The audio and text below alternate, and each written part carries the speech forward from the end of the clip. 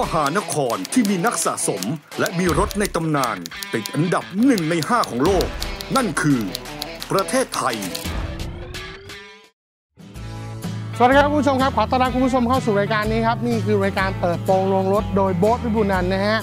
ต้องบอกว่าแขกรับเชิญของผมใน EP นี้นั้นไม่ธรรมดาครับคุณผู้ชมครับคุณผู้ชมครับคุณผู้ชมรู้จักกับร้านนี้ไหมฮะ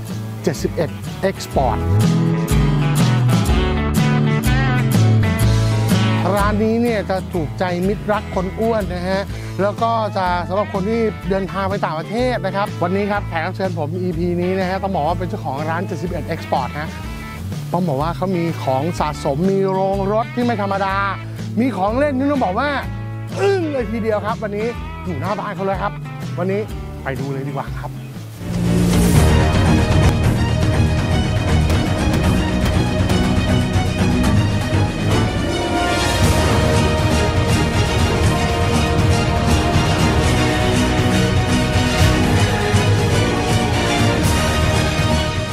และช่วงนี้นะครับสนับสนุนโดย c t e c เครื่องชาร์จแบตเตอรี่อัจฉริยะจากประเทศสวีเดน Glasurit สุดยอดเทคโนโลยีสีพ่นซ่อมรถยนต์จากประเทศเยอรมนีครับสปีดการาดสถานที่รับฝากรถมอเตอร์ไซค์และ service ครบวงจรทั้งรถยนต์และรถมอเตอร์ไซค์ ติดต่อ 0818132393 และ 0906643343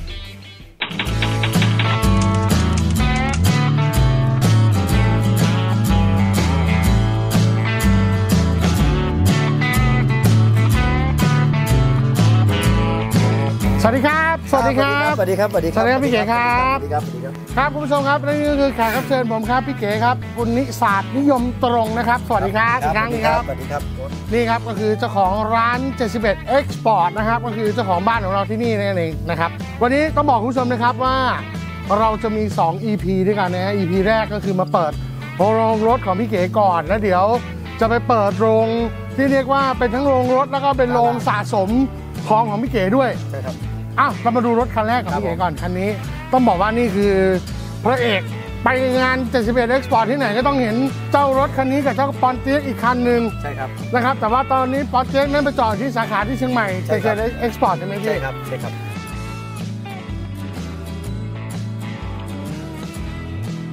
คันนี้เป็นรถ Chrysler Imperial เรียนครับ 1959 ครับ 1959 นะครับครับพี่ คันนี้อยู่กับพี่มากี่ปีแล้วครับเนี่ยพี่ ได้มาประมาณน่าจะ 7 ปีได้ 7-8 ปีได้ 78 ปีนะครับ ได้มาจากบ้านฝรั่งที่พัทยาครับ พัทยา ใช่ครับ ไปดังเขาเก็บ 2 คันเลยครับทั้งปอเตียสกับอิมพีเรียนเก็บมา 2 คันก็เลยไปขอซื้อเขา เขาก็ขายให้อย่าง Chrysler Imperial เนี่ยพี่ชอบความสวยงามของของเขาตรงไหนพี่ หน้ามันแล้วทรงมันฮะแล้วมันขับแล้วมันนิ่ม นุ่มนวลใช่ไหนุ่มนุ่มนุ่มมันเป็นอ่าโชคสปริงนะฮะอ๋อ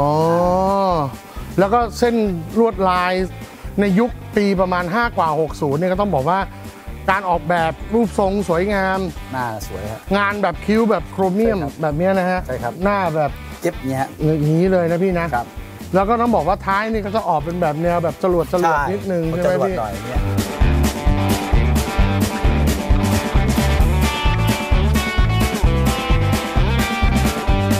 อยเนี่ยอย่างคันนี้ก็ต้องบอกว่าอันนี้คือนิสสัน Figaro ใช่ไหมฟิพี่กาโลฟิกาโลฟิกาโล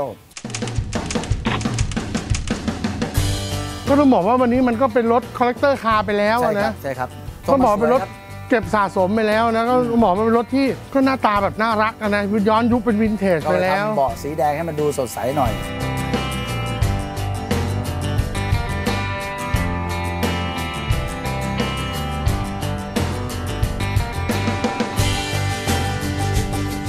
แต่เขาบอกว่าคันนี้คันนี้ก็เป็นรถอีกคันหนึ่งที่ที่พี่เก๋ชอบมาก ใช่ครับครับนี่อ๋อนี่เป็นเป็นมินิกระบะนะ ใช่ครับ เพิ่งทำเสร็จมันมาดๆเองได้ประมาณเดือนกว่าๆนะฮะเรียบร้อยหมดแล้วแล้วก็ยังทำอีกประมาณ4ี่ห้าคันได้ฮะโหแสดงพี่มีมินิเยอะมากก็ประมาณ6คัน7คันวันหกเจ็ดคัน ใช่ครับ ก็เห็นพี่เก๋ใช้คันนี้ตลอดนะอืม ไปกินข้าวไปทำอะไรใช่ในใช่ ชีวิตประจำวันก็จะใช้รถคันนี้ตลอด มันเร็วดี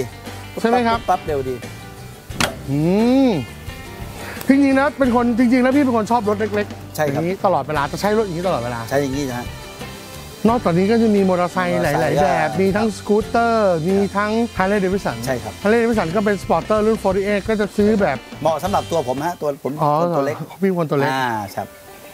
นะครับเล็กก็ต้องชอบแบบนี้ โอ้โหอันนี้ก็เป็นแบบแต่งแบบแนวแบบ custom ทั้งคู่เลยใช่นะครัฮะ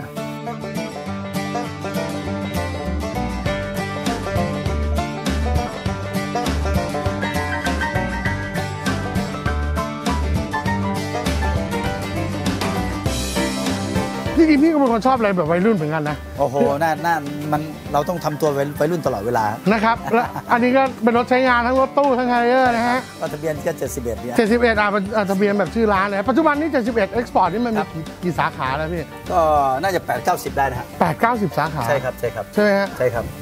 โอ้โหไปอยู่ตามปั๊มตามอะไรนะฮะ ก็มีเปิดบ้างปิดบ้างสลับกันไป แนวพี่ก็จะคือขายเสื้อผ้าเอ็กซ์พอร์ตไซส์ใหญ่หน่อย ก็แบบอะไรอะผมใช่ ผมมันเป็นลูกค้าพี่ครับครับประมาณใช่ไหมใช่ครับเพราะว่าผมเนี่ยจะคนอ้วนเนี่ยจะเป็นลูกค้าพี่ตลอดเลยพี่เก๋ไซส์ใหญ่ผู้หญิงแล้วก็ผู้ชายมีหมดเสื้อกันหนาวใครที่จะเดินทางไปต่างประเทศก็ต้องไปหาพี่ก่อนเลย ใช่ครับอืถูกไหมใช่ครับ เอาอย่างอย่างอย่างเงี้ยอย่างนี้ครับ ก็คือ คือเราเล่นไปด้วยเราชอบไปด้วยเราก็ใช่ซื้อมา ใช่ใช่ ก็อันนี้ก็พูดถึงว่าพอทำเสร็จแล้วทำเสร็จแล้วไม่ไม่รู้ทำอะไรก็ยกเข้าไปอยู่ในร้านเนี่ยนะอย่างเงี้ยไม่ได้ขับอย่างนี้พี่ก็ตั้งไว้ตั้งไว้ในร้านด้วยอย่างเงี้ยใช่คันนี้ก็จะไว้ในร้านเนี่ยนี่คันอันนี้คือแลมเบต้านะใช่ครับแลมบัตต้าครับโอ้โห ก็เหมือนกับลูกค้าซื้อเสื้อผ้าไปด้วยใช่ได้เขาก็ไปดูว่าเอ้ยมันเป็นอย่างนี้นะรุ่นนี้อย่างนั้นแบบนี้เขาก็ได้ดูโชว์ไปด้วยอย่างเงี้ยเหรอใช่ครับ อย่างที่เชียงใหม่ก็คนไปดูเอ่อร้านด้วยไปดูเสื้อผ้าด้วยบางคนก็ไปถ่ายรูปพวกของเก่าอะไรอย่างเงี้ยฮะส่วนมากคนจะไปเช็คอินกันเยอะฮะ อ๋อ อย่างนี้พูดถึงมันก็มีความสุขดีเหมือนกันนะคุณผู้ชใช่มครันะบใช่ครับผมผมระหว่างที่คนอื่นเขาซื้อเสื้อผ้าไป ผมก็นั่งอยู่บนมอเตอร์ไซค์นั่งรอดูไปใครที่ชอบ คนอื่นสมมติแฟนซื้อเสื้อผ้าไป ผมก็นั่งรอดูาดูประาณมอเตอร์ไซค์อย่างนี้ด้วยนะพี่นะใช่ครับประมาณนี้ครับบางคนก็ไปดูโมดงโมเดลเงี้ยเชิญนะครับที่เชียงใหม่อืมอย่างนี้เราก็สามารถไปดูของเก่าได้แยกย้ายกันไปนั่งแอร์เย็นๆนั่งรอดูไป ใช่ ได้ทั้งครอบครัว ใช่ครับ ครับพี่ จริงๆแล้วเป็นคนชอบเล่นของเก่าทุกใช่แนว ใช่ครับ เป็นคนชอบของวินเทจใช่ครับ ก็เอาไปโชว์ไปเวลาไปเมืองนอกอะไปเจอที่ญี่ปุ่นเนี้ยมไปเจอเขาไปอเมริกาก็ไปเจอเอ้ยเราว่าอยากมาทำบ้างที่เมืองไทยครับ อ่าเห็นคนอื่นเล่นเราก็อยากเล่นเล่นด้วย ผมเข้ามาเดินในบ้านพี่เนี่ยสังเกตว่าของบ้านพี่เนี่ยมันเป็นของวินเทจหมดทุกชิ้นเลยนะพี่นะครับ พี่แสดงว่าพี่เป็นคนที่สะสมงานทุกแบบทุกอย่างทุกสไตล์เลยป่ะพี่ บ้า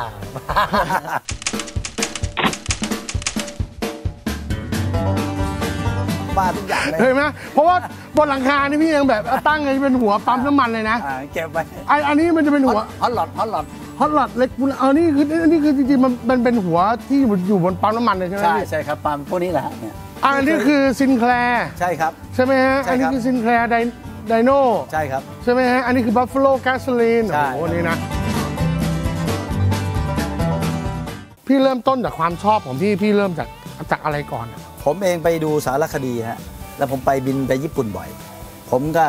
ไปร้านนั้นร้านนี้ให้ยทำไมมันเอาเสื้อผ้ามาจับประประยุกต์กับไอ้ร้านได้ ผมก็เลยมาทำแต่งเข้าร้านนะฮะแต่ว่าอันนี้เอาบวกความชอบของตัวเองเข้าไปอีกถูกต้อง เราชอบรถเราชอบของเก่าใช่เราก็เอาของเราบวกเข้าไปใช่ครับ มันมันมันเข้ามันแมทกันได้ฮะอ่าแล้วเขาบอกว่าพี่พี่ไปเดินทางไปทั่วโลกเพื่อไปซื้อของเหล่านี้มา ใช่ครับ ไหนพี่เล่าให้ผมฟังหน่อยว่าพี่ยังไง ก็ไปไปไปเดินมาแล้วไปดูงานงานที่เขาโชว์รถยนต์บ้าง โชว์พวกงานการหลาดพวกป้ายอินเมลพวกอะไรเงี้ยครับมันเป็นงานใหญ่มากครับเราก็ไปเดินดูไปกับฝรั่งเนี่ยฝรั่งก็พาเราพวกเราซื้อขึ้นตู้คอนเทนเนอร์เขาก็จัดการส่งมาที่เมืองไทยครับเขาแล้วพี่ไปยังไงอะพี่ตอนแรกพี่พี่ออกไปยังไงพี่ไปซื้อยังไงอ๋อผมไปผมก็ไปเจอฝรั่งที่นัดกันที่อเมริกาอ้าวผมตอนแรกผมถามคนในครอบครัวพี่ผมเขาบอกว่า พี่ไปโดยที่พี่ไม่ได้รู้อะไรเลยครั้งแรกอ๋พี่อไปไม่รู้เรื่องเลย อ่าไม่รู้นี่เรื่องเห็นไหมคุณผู้ชมไม่รู้เรื่อง ไปแบบเขาบอกว่าไปแบบหาดุเรื่ยองไม่ดุยทั่วอยู่ๆเก็บเสื้อผ้าไปแล้วก็มีใช่ ความรู้สึกว่าเฮ้ยฉันจะเปิดร้าน ใช่ใช่ แล้วฉันก็ไม่รู้เรื่องเลยเลย ผู้ชายคนหนึ่งที่พูดภาษาอังกฤษไม่ได้ ไม่เป็นไรแล้วก็อยากจะเปิดร้านขายเสื้อผ้า ใช่แล้วก็ชอบของวินเทจใช่ แล้วพี่ยังดูของวินเทจไม่เป็นเลยยังไม่เป็นสักอย่าง อะแล้วพี่แล้วอยู่ๆพี่มาได้อะไรยังไม่รู้ เยอะแยะเต็มบ้านเป็นภูเขาเหล่ากาขนาดเนี้ยผม ไปกับแฟนผมครับแล้วก็คนไทยเนี่ยเขาสนิทกับฝรั่งคนนี้เขาอยู่ที่นู่นไปพร้อมผมเพิ่งไปเจอฝรั่งอยู่ที่อ่าอเมริกาเขาเล่นรถอยู่แล้วเล่นรถอเมริกันขายส่งให้ยุโรปอยู่แล้วครับเขามาเที่ยวที่เมืองไทยเขาก็เลยสนใจว่าเราชอบไม่เขาก็พาเราไป แล้วพี่ไม่คิดว่าเขาจะหลอกพี่เหรอผมว่าเป็นเรื่องธรรมดานะนั่นมันมันผมทำเสื้อผ้าเนี่ยครับผมซื้อที่เมืองนอกเหมือนกันอืมผมก็โดนหลอก มาตลอดอยู่แล้ว อะถ้าคิดว่าถ้าถ้าเที่ยวนี้โดนหลอกก็ไม่เป็นไรก็ถือว่าใช่เดี๋ยวเราได้ไปเที่ยว เอาหน้ามันเป็นเรื่องธรรมดานะแบบไม่มีอะไรที่มันได้มาง่ายๆอยู่แล้ว ไปพร้อมกับเขาเลยใช่ครับ กำเงินไปก้อนหนึ่งใช่ครับ ไปเมืองนอกเลย ใช่ครับ เก็บเสื้อผ้าไปกับแฟน เอาเงินไปก้อนหนึ่งแล้วก็รถไปซื้อรถคันหนึ่งอยู่ที่อเมริการถดับเพลิง ทุกวันนี้ก็ยังไม่ได้มาเลย พี่ไปซื้อรถดับเพลิงจากเมืองนอก ใช่ครับมันมันเห็นสวยครับมันมันมันมันไม่แพง อะบ้านเราไม่มีอะนะไม่มีบ้านเราก็ไม่เห็นนะนะแล้วคือครบคือความรู้สึกเอาไปถึงมันโอ้โหมันมันมันใหญ่อะต้อใหญ่โตอลังการมันแล้สวยแล้งาทุมกอย่างนะครบหมดแล้วอุปกรณ์ครับครบทุกอย่างเลยนะแบบโอ้โหมันเอาไว้ยเดี๋ยวค่อยว่ากันเดี๋ยวเข้ามาได้ไม่ได้เดี๋ยวค่อยว่ามันกัน มันเห็นแล้วมันไปถึงมันใช่เลปยระมาณอย่างนี้คเพรับราะถ้ามาถึงถ้ามันจอดอยู่หน้าร้านเนี่ยใช่มันจะต้องเรียกลูกค้าได้ใช่แน่แล้วก็เดินๆแต่ไปปัจจุบันนี้ยังเอาเข้ามาไม่ได้นะคุณผู้ชมไม่ได้นมันด้วยความที่เราไม่รู้อะนะไม่รู้ไม่รู้เราซื้อเอามาแล้วมันก็เอาเข้ามาไม่ได้เพราะมันเป็นรถทางราชการใช่ครับเอาเข้ามาไม่ได้ แล้วพี่ไปได้อะไรมาผมก็ไปก้อนเดิแรนกดูป้ายอินเมลป้ายนั้นป้ายนี้เดินสารพัดป้ายอินเมลก็คืออธิบายคุณผู้ชมก่อนนะว่ามันก็คือเป็นเรื่องของป้ายโฆษณาป้ายที่มันติดกับอ่าต้องไปดูฝั่งนู้นฮะเป็นถังน้ำมันฮะได้ถังครับน้ำมันพวกหัวจ่ายน้ำมันมาเนี่ยที่นู้นน่ะมาจากอเมริกาเนี่ยผมถึงบอกว่าเดี๋ยว EP หน้านะผมจะพาคุณผู้ชมไปดูเรื่องราวของโรงที่ยังมีซากรถครับที่ยังไม่ได้ทำอีก ยังมีของต่างๆที่ผมบอกว่าเนี่ยมันจะไปดูเรื่องราวของ EP หน้า ที่อยู่ๆกำเงินไปซื้อมา ครับ แล้วก็บอกว่าเนี่ยมันได้เป็นของแต่งนี่ก็คือซื้อในเมืองไทยด้วยนะ มีเมืองไทยด้วย ซื้อต่อเขาด้วยเป็นเรื่องธรรมดา จนมาถึงทุกวันเนี้ยครับ กี่ปีแล้วพี่ผมว่าน่าจะเอ่อร่วม 8-9 ปีนะ 8ปดเปีที่พี่คลุกคลีอยู่ในวงการเนี้ยใช่ครับใช่ครับ พี่มีอะไรอยากจะบอกคนที่เขาอยากจะมาเล่นตรงนี้ไหมพี่แก ก็ถ้ามาเล่นเนี่ยเล่นได้ก็เริ่มเริ่มลองผิดลองถูกดูฮะทุกคนต้องลองผิดลองถูกดูฮะ ว่ามันเป็นยังไงอะไร มันอยู่ที่แนว บางคนชอบรองเท้าคอนเวิร์ตบางคนชอบรองเท้าไนกี้บางคนชอบแบบชอบไม่เหมือนกัน สิ่งที่พี่กำลังจะบอกทุกคนคือ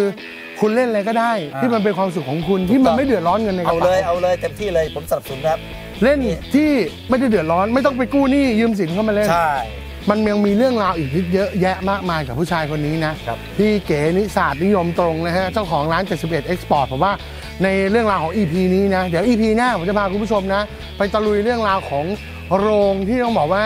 ที่ยังเก็บเรื่องราวของรถเก่าที่ยังไม่ได้ทำป้ายของเก่าของโบราณที่ต้องบอกว่าหอบเงินก้อนแรกไปซื้ออไปกับแฟนกันเนี่ยนะฮะครับ แล้วก็ไปต้องบอกว่าขอให้ฝรั่งพาไป ใช่ครับ แล้วก็ยังไม่รู้ว่าจะออกมาเป็นหมู่หรือเป็นจ่าไม่รู้เรื่อง เมื่อเลย8 9 ปีที่แล้วผู้ภาษาอังกฤษก็ไม่ได้ ไม่ได้ นะครับแล้วก็ต้องฝากคุณผู้ชมด้วยนะฮะอย่าลืมนะฮะกดติดตามพวกพวกเราด้วยนะครับ กับรายการนี้เปิดโปงลงรถแล้วก็อย่าลืมกดไลค์กดแชร์นะครับ แล้วก็ขอบคุณผู้สนับสนุนนะครับ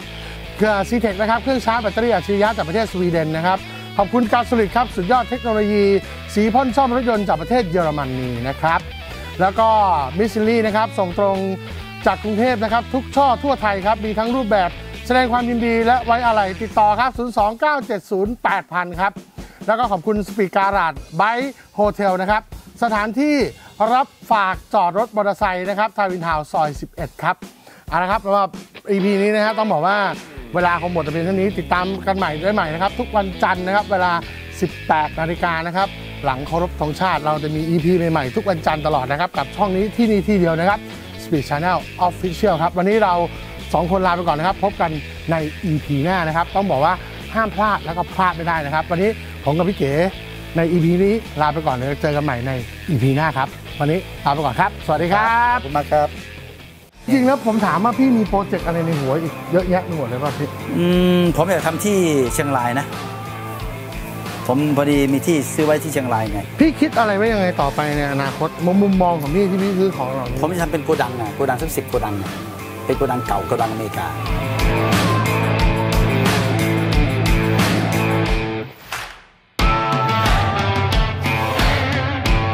แล้วคุณจะรู้ว่าที่สุดของโลกอยู่ที่นี่ ประเทศไทยครับ และช่วงนี้นะครับสนับสนุนโดย c t e c เครื่องชาร์จแบตเตอรี่อัจฉริยะจากประเทศสวีเดน Glasurit สุดยอดเทคโนโลยีสีพ่นซ่อมรถยนต์จากประเทศเยอรมนีครับสปีดการาดสถานที่รับฝากรถมอเตอร์ไซค์และ service ครบวงจร ทั้งรถยนต์และรถมอเตอร์ไซค์ ติดต่อ 0818132393 และ 0906643343